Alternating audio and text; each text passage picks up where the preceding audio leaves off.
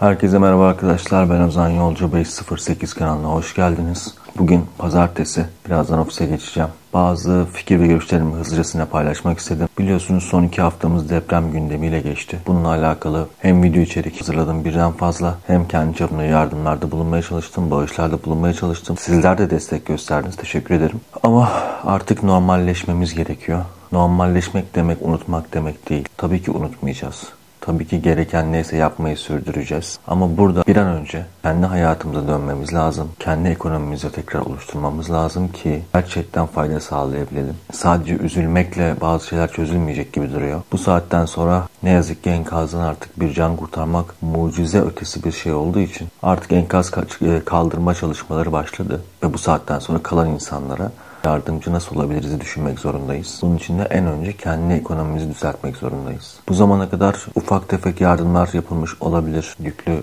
miktarda yardımlar yapılmış olabilir. Ama normalleşerek hem oradaki insanların psikolojisini de normalleştirmemiz, aynı zamanda da bir an önce ekonomimize can vermemiz gerekiyor ülke olarak. Söylediklerim yanlış anlaşılmasın. Normalleşmekten kastım unutmak demek değil. Yapılan hiçbir yanlışı, hiçbir hatayı, hiçbir ihmali, hiçbir yetersizliği unutmayalım tabii ki. Ancak normalleşmezsek bizim bu yılımız belki önümüzdeki yıllarımızın tamamı kaos içerisine geçecek. Daha çok sıkıntıya gireceğiz. Her geçen gün bir öncekini aratacak. O yüzden sizlerden de ricam bir an önce normalleşmeniz. Ama aklınızın her, her zaman bir köşesinde her gün evsiz kalan o insanları hatırlamanız gerekiyor. Şükretmek adına. Yemeğe muhtaç, suya muhtaç, temizliğe muhtaç, tuvalete muhtaç, paraya muhtaç. İnsanları hiçbir zaman unutmayın. Ya gücünüz yettiğince yardımcı olmaya tabii ki çalışın. Ama halinize her zaman şükredin arkadaşlar. Bugünden itibaren tekrar video planlamalarımızı devam edeceğiz. YouTube'dan kazandığım her gelirin %50'sini AFAD'a bağışlamak üzere yatırıyor olacağım. Çok fazla bir şey kazanmıyoruz zaten ama %50'si bizim çekim maliyetlerimiz gibi düşünün. Geri kalan %50'si de AFAD'a depremzedelere gidecek. Bunu da söylemiş olayım. Lütfen kanala abone olarak desteğini sürdürmeye devam edin arkadaşlar. Şöyle bir önerimiz oldu kendi.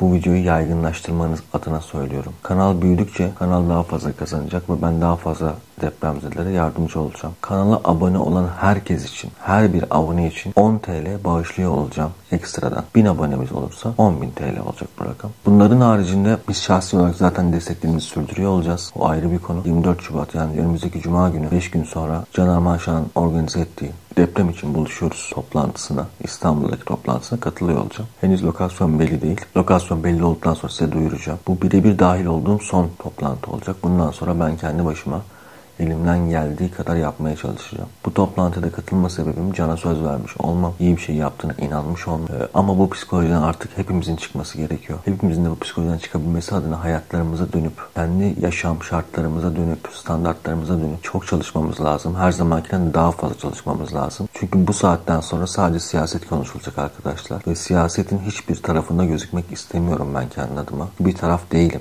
Benim tek bir tarafım var. Kendi çevrem, ailem, milletim, onların genel sıkıntıları, genel mutlulukları.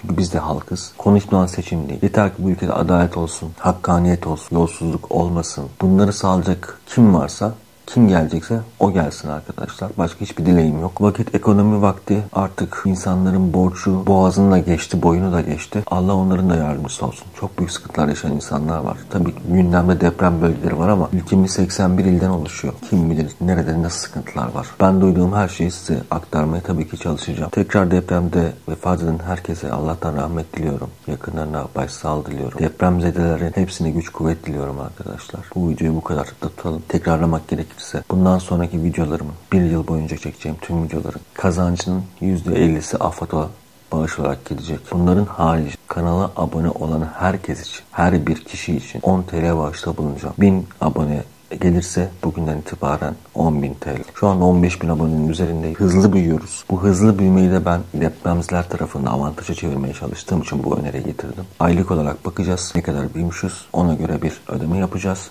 Bunu da size göstereceğiz zaten. 24 Şubat'taki Can Harman Şah'ın organize ettiği toplantıya da İstanbul'daki takipçilerimiz, abonelerimiz gelirlerse hem yüz yüze tanışmış oluruz hem de orada daha büyük bir aileyle daha iyi bağışlar yapılabilir. Tek şart biliyorsunuz oraya daha önce duyurduğum gibi bağış yapma zorunluluğu. O zaman güzel bir hafta diliyorum size. Hepinize bol kazançlar diliyorum. Sağlıklı, huzurlu ve mutlu bir hafta diliyorum. Kendinize iyi bakın arkadaşlar.